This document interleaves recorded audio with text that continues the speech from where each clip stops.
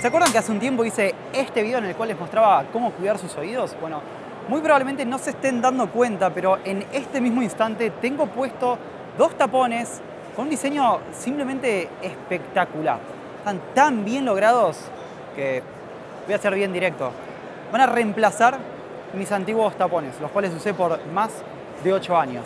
Esto que tengo acá son los Loop Earplugs, que a simple vista podrían parecer como simplemente tapones para las orejas, para no escuchar nada, pero en realidad no es tan así. Es decir, a diferencia de otros, como por ejemplo los de Flear Audio, que son como si fueran unos tapones hechos de aluminio, que es un pedazo de aluminio con una puntita de silicona o de espuma con memoria del otro lado, estos en realidad tienen un filtro al igual que los Etimotic ER20.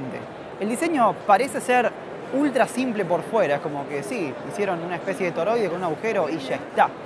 Pero no es tan así. Lo hacen con una tecnología que se llama SLS, que en pocas palabras es un sinterizado láser. Es decir, es un método de impresión 3D con el cual, imagínense que hay como un montonazo de polvo y después con luz láser solidifican ese polvo para darle forma a esto. O sea, este producto está impreso en 3D. Más allá del proceso de fabricación, es muy interesante también conocer cómo es que lo manejan del lado de la industria. Es decir, en Bélgica ellos fabrican, es decir, imprimen en 3D la parte del anillo, la que tiene como ese agujero, y después lo tienen que mandar a una parte en Holanda, donde hay un instituto en el cual estudian todo lo que tiene que ver con audición en el ser humano, en donde ahí mismo le colocan el filtro final, que ni siquiera se los venden para que ellos después los pongan en una fábrica por separado. O sea, es tan específico y es tan, digamos, secreto y cuidan tanto este aspecto de todos los estudios que ellos hacen que sí o sí les tienen que mandar primero su parte para que después ellos lo finalicen. De hecho, este mismo instituto es el que fabrica los filtros para los Etimotic, entonces no es que salieron con una idea random y le salió y ya fue.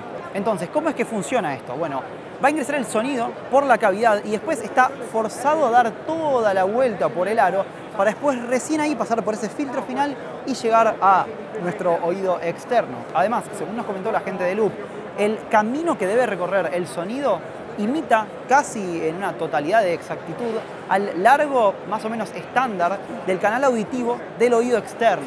Entonces es como que está replicando nuestro oído normal, solamente que bueno, va a filtrar un poco, en realidad va a reducir bastante hasta casi unos 20 decibeles el sonido que viene del exterior. Entonces, este producto es, al igual que los Etimotic, como les comenté en ese video que les mostré al principio, para recitales, ir a discotecas, o sea, boliches, viajar en transporte público, entre otros casos.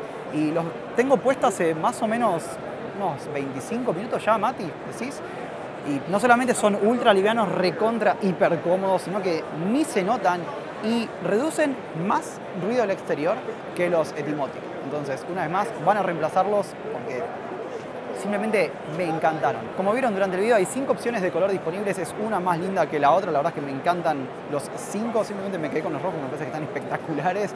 Tienen el link de compra debajo, es decir, en su web los pueden comprar, salen 30 dólares estadounidenses y envían a todo el mundo. Y sí, me confirmaron que a Argentina y a todos los países de Latinoamérica llegan sin drama. Y una última prueba, quiero que vean en tiempo real la diferencia de el loop color rojo que tengo en el oído derecho contra los Etimotic en mi oído izquierdo. No solamente los loops son mucho más cómodos, sino que fíjense, sí, se pueden esconder un poquito, pero estos no se ven y esto se le sale este palito. Además, los podemos rozar con alguien en un boliche y se nos caen.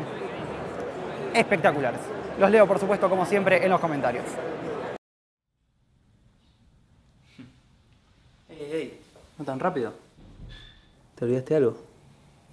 Eh, muy bien, pibe.